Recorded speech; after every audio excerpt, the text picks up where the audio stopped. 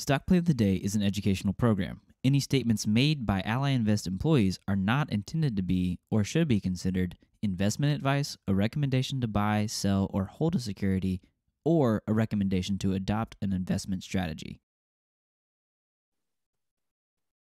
Hello and welcome to the Stock Play of the Day. Today's stock is the USL. That is an ETF that tracks oil prices. We'll discuss should we pass or should we play?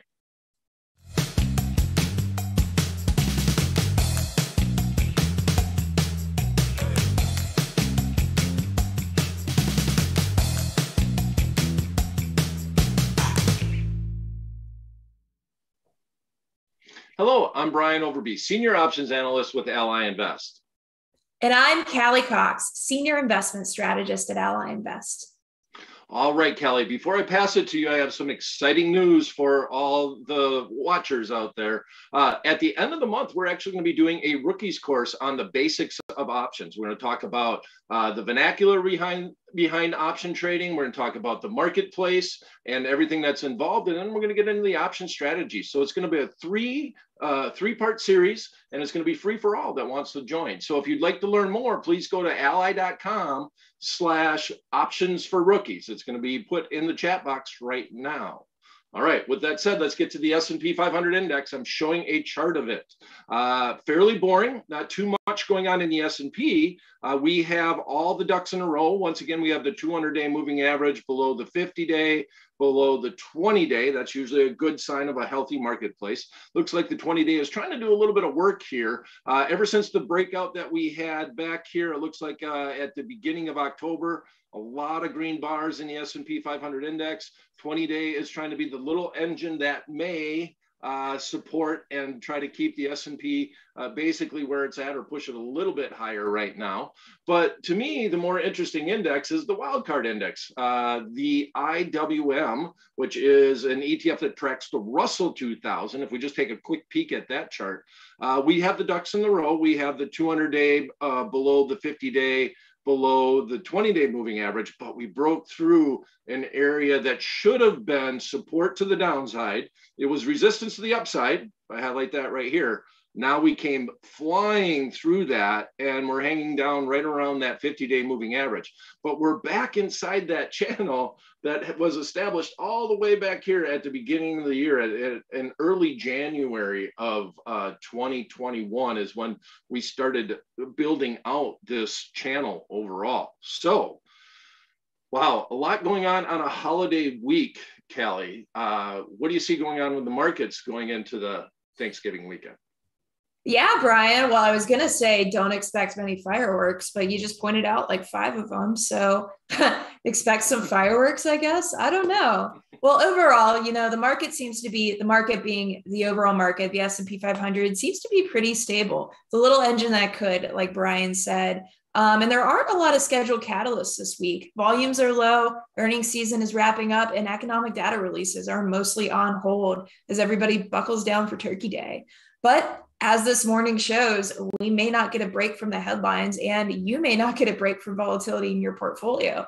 Uh, so let's talk about the headlines. Um, so the big headline today is the news around oil. It looks like the U.S. administration will release about 50 million barrels of crude oil to balance out oil prices at a seven-year high, uh, considering supply has been so much lower than demand.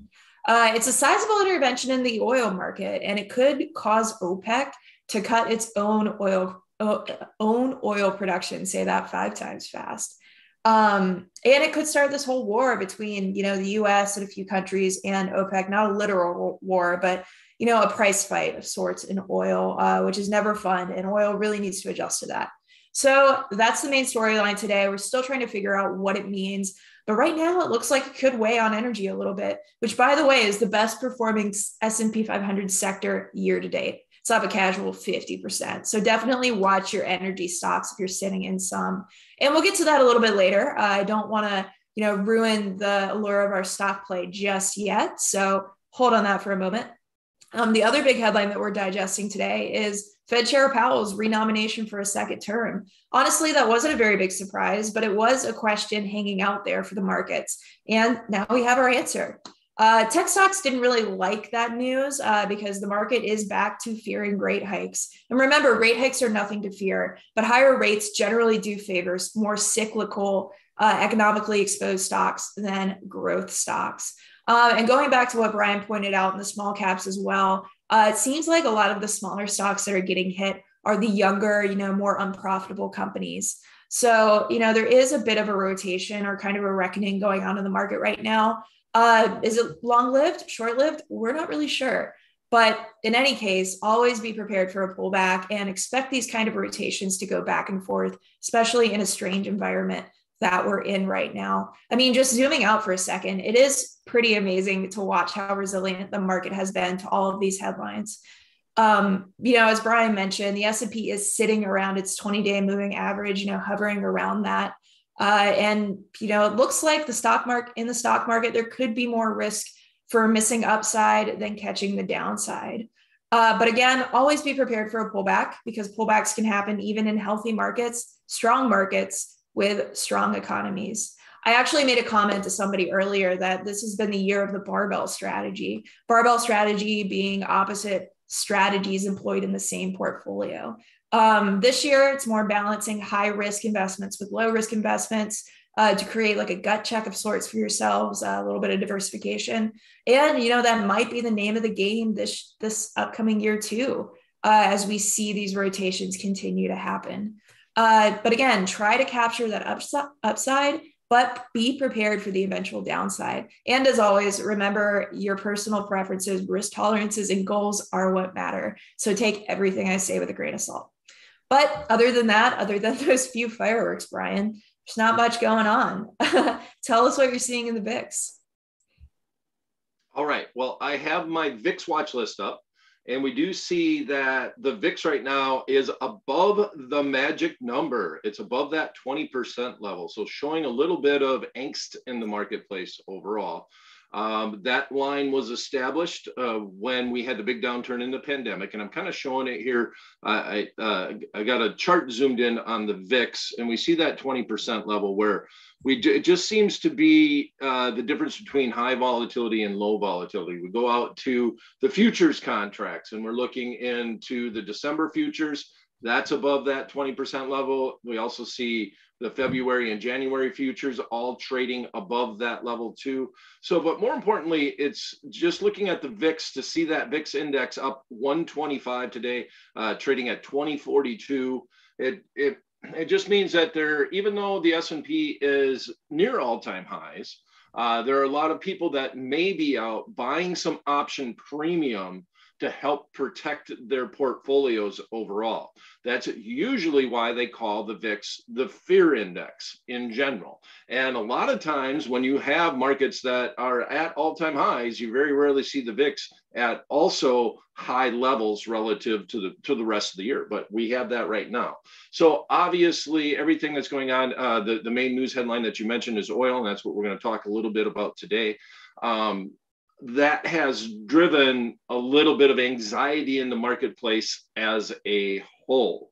So, uh, what we're going to look at today is going to be the USL. And if we look at the USL, uh, we have a fairly similar graph to what has happened in the S&P 500 index. A little bit of a stronger move, uh, basically from September, middle of September, all the way up to October. Then we kind of peaked. We're back uh, down a little bit with a strong move in the USL today. Now, this is long term oil versus the USO, which is a little bit more well known ETF overall. Uh, we'll talk a little bit about the nuances between the two. But one thing that is solid here, too, is that we got the 200 day, the 50 day, and the 20 day moving together. Uh, 20 days starting to bend a little bit, might be breaking down below the 50 not too big of a concern overall, but we saw it back here when that happened. That's called a, a, death cross, which I think is a little aggressive overall, but we did have a little bit more of a downturn in oil when that happened. All right, so let's talk about oil and what's going on in the marketplace, Callie. Yeah, Brian, let's talk about oil. And I'm actually going to point out that it seems like for the past few stock play episodes, we've either mentioned a death cross or a golden cross in a market. Uh, which shows that there's just a lot of movement going on underneath the surface. So lots of interesting opportunities these days. Uh, keep your eyes out for them. We certainly are. But on that note, let's talk about oil. Uh, like I said, it's the big conversation today with the U.S. announcing it'll release some oil reserves to maybe ease the you know rising oil prices that we're seeing. Uh, you know, honestly, this one makes me a little nervous. Uh, you know, the news is fairly you know fairly new, and we're all trying to process it. Um, so I'll kind of give you the breakdown of what we're watching and you know why we think there could be an interesting momentum play here. So crude oil prices are near a seven-year high. So the obvious impact may be a drop in oil prices because obviously, if you increase supply, uh, you might see prices lower um, as demand and supply balance out a little bit. Um, and it's already looking like demand and supply could balance out a little bit more absent this decision in the following months. So, this decision, this uh, releasing of reserves, could accelerate that and possibly mark a peak in oil prices. But it's not so simple. And a lot of oil's next moves do depend on OPEC's reaction. Now, OPEC, of course, is the governing organization of oil producing nations. And there is a chance that OPEC retaliates by cutting oil production itself. And it sounds like the amount of re- released reserves may not be significant enough to cause a dent in prices. And they could be quote unquote borrowed or meaning that they're released now, uh, but in, uh, with an expectation of a uh, gap in supply later. So it's really tough to know where supply and demand shake out, but chances are this could cause some kind of movement in crude.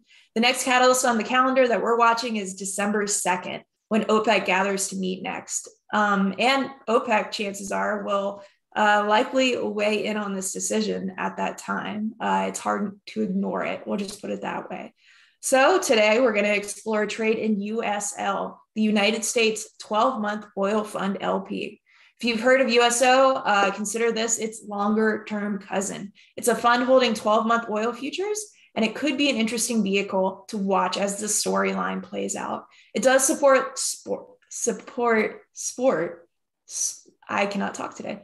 It does support lower fees than USO, and it could offer more opportunity and option pricing when we look at trades. So that's why we're looking at USL today uh, in, uh, instead of USO. But always, you know, remember the quirks and the mechanics of each vehicle. Um, this is a fund that holds futures, so it depends on, um, you know, pricing in futures, and that's not necessarily, you know, what we're seeing in the overall market. Um, so as the fund buys and sells futures to track oil, we could see some mispricings here and there. So keep that in mind.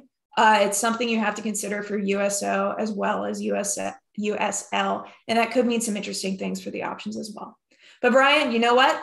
Let's look at a trade. Uh, I want to hear what you have for us. But before I pass it back over to you, I want to remind all our viewers to drop your questions in the chat because Brian and I will be answering your questions live at the end of the show today. All right, Brian, show us what you got. All right. So, uh, Callie went through a, a nice discussion as to why we are looking at the USL. And the reason why I'm going to do this is that we're going to look at a short put spread today, which is implying that if we do get a little bit of a downturn because of what happened, I wouldn't mind buying some shares of the USL. That's the concept.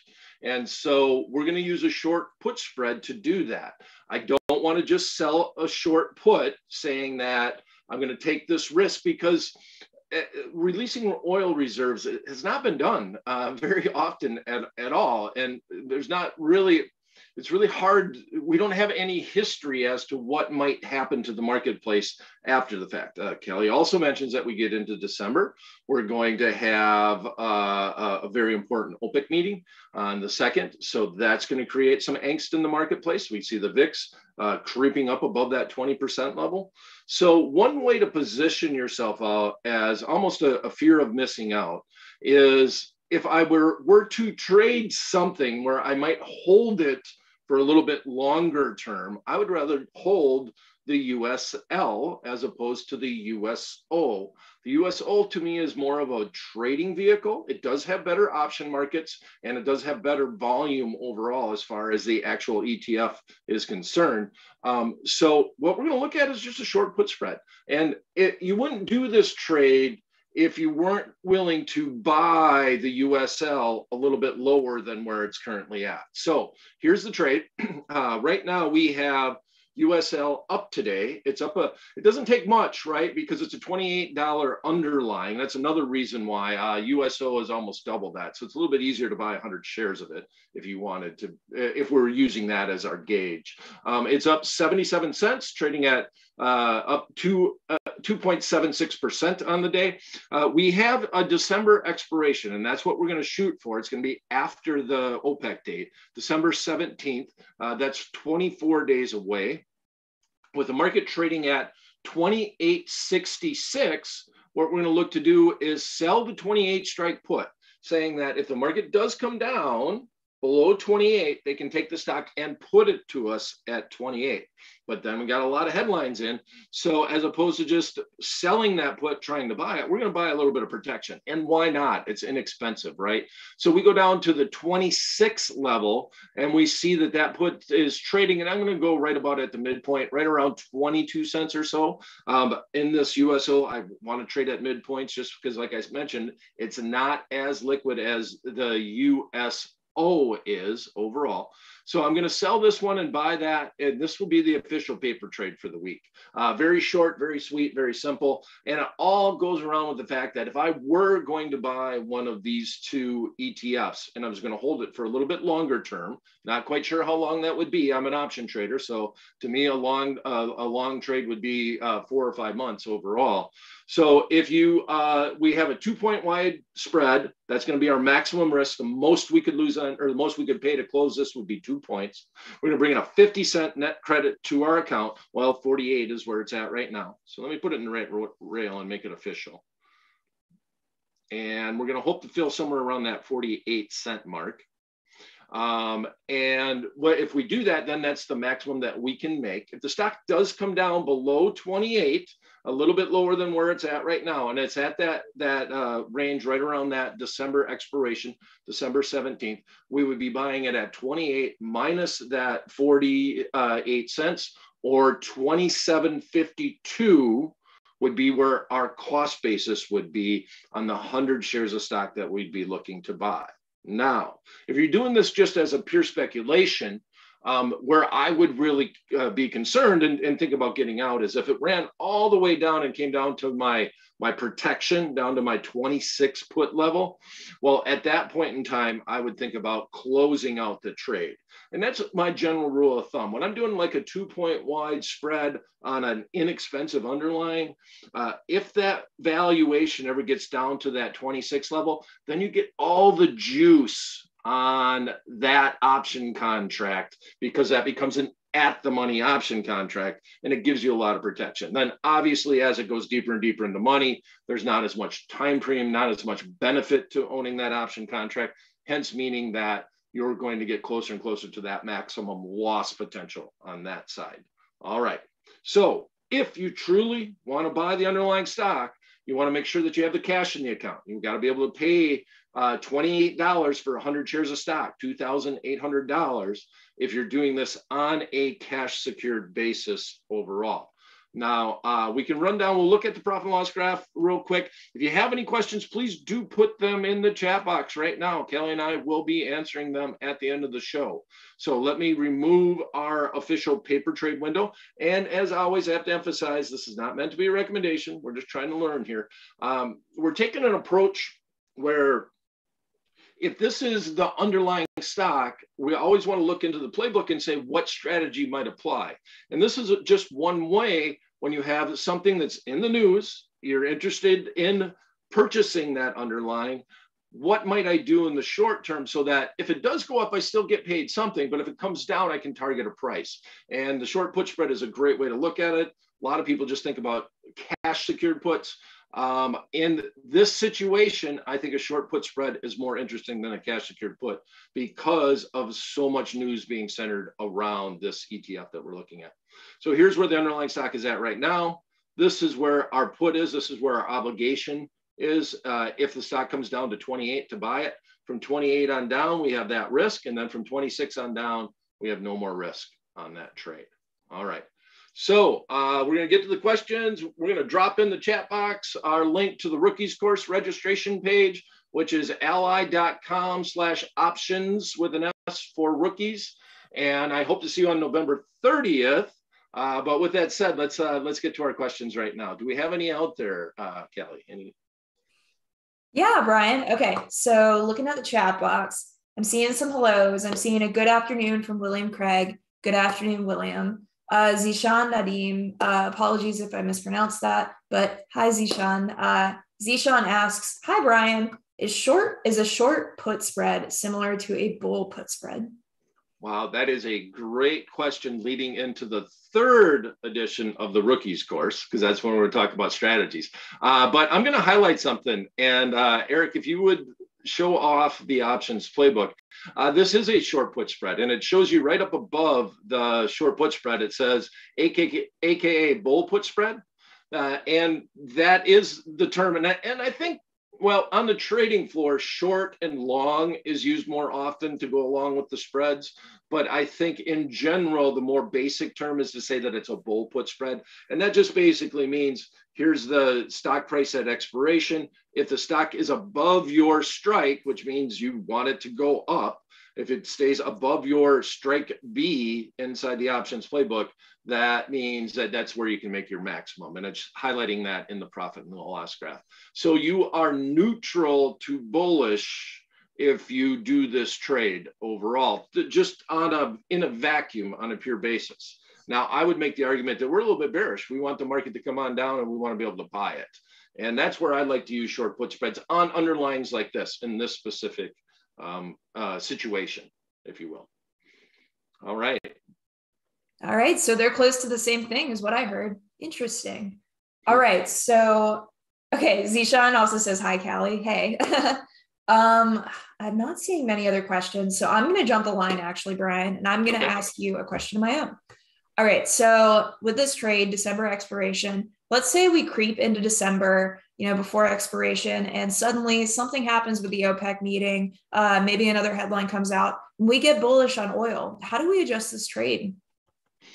Okay, so if you do get bullish, that's actually a great question. Thanks for bringing that up because we've got a little bit longer expiration. We're going out to that December uh, expiration with, I think it was the 24th well, 17th, we got 24 days. So that I got uh, mixed my metaphors there. So the December 17th expiration, which is 24 days away. So if the market does go up and you just want to jump in, you can always buy and close this spread and then just buy the underlying stock.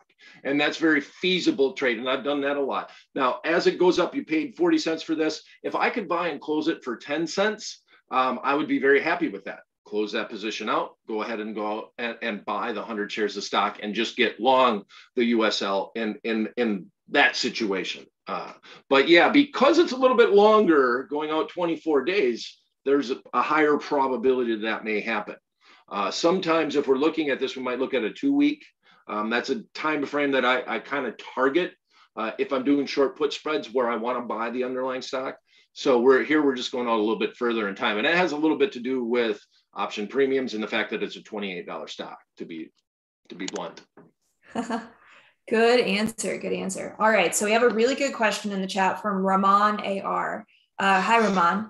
Uh, asks, Hi. Well, he says hi. And he asks, How much credit is ideal for a credit spread? It looks like USL is giving relatively low amount of credit. All right. That that's another great question. And I always look at about 20%. That's just the math. So if you're doing a, a two point wide spread, you want to bring in about 50 cents. You're doing a five point wide spread, you want to bring in about a dollar. Um, and that's always kind of been my line in the sand uh, as to if this is enough credit or not. Now, one of the big things about this is real world stuff as opposed to theoretical stuff is if I sell a, a a put spread, like in this instance for 50 cents, um, let's say I sold it for 20 cents. It's very hard to make that last nickel or dime on a lot of spreads like this, especially in something that's got some volatility like oil has recently. So I would much rather, if I was trying to make 20 cents on a trade, I would rather sell a 50 cent spread and buy it back at 30 cents right? As opposed to sell a 20 cent spread and hope that it goes out worthless. Um, it, it just, that's real world stuff. Um, option pricing calculators, if you will, will break down when things get deep in and out of the money, and nobody's going to just sell you something that's worthless for zero. They, they, they're going to make you have to pay for it to get out of that trade. So the last five or 10 cents is always tough on a spread to capture. So because of that, that's where I come up with that little rule. Doing a five point wide spread, I try to get a buck. Doing a, a two point wide spread, I want to get about 50 cents. And that's actually two and a half point wide is really where that, that comes out. So I don't mind this trade because we're going two points wide and we were able to pull in about 48 cents is where the market was at when we put it in the right rail. Another great question. Yeah, I got a lot of good questions today. All right, we'll throw out a fun question, Brian. What's your favorite Thanksgiving side? Uh, Thanksgiving side? Mm-hmm. Uh, uh, green bean casserole that my mother Ooh. used to make back in the day. Uh, nobody and and I and I and I stretch there because a lot of people uh, when you what like if especially little kids I see all holding their nose right now. But I've always loved the green beans, and it's the only time of year that my mother actually makes a casserole out of green beans. Ooh, that's a good How about one. Back at you, back at you, Callie. I know I can't ask tough questions and then not answer them. Yeah. Uh, Uh, I'm a mashed potatoes gal. I just really like mashed potatoes. Sweet potato casserole comes in as a second. Green bean casserole is definitely definitely up there. Um, but I like all food. Like I, I just appreciate food. So give me any side. I'll probably find the pros and cons in it. So yeah. That's awesome. That's so awesome. all right. So we're seeing a lot of me too's, me too's. Uh, drop your favorite side in the chat if you'd like. And as we're thinking about Thanksgiving, uh, you know, Brian, are we having an OT episode this Friday? We will not be. Uh, we will not have the stock play of the day overtime. So we'll be back this next Monday. So you want to click subscribe, you want to ring the bell, and you'll get all the notifications. Not only will you get the notifications for the stock play of the day overtime, we will, should also send you a reminder when we are going to be having the stock, uh, the rookies for options course. But if you want to get all the reminders, please go to ally.com slash options for rookies and put your email address in and everything. And we'll remind you for each and every event uh, officially via the Ally email service. Thanks for coming, everyone. And happy Thanksgiving.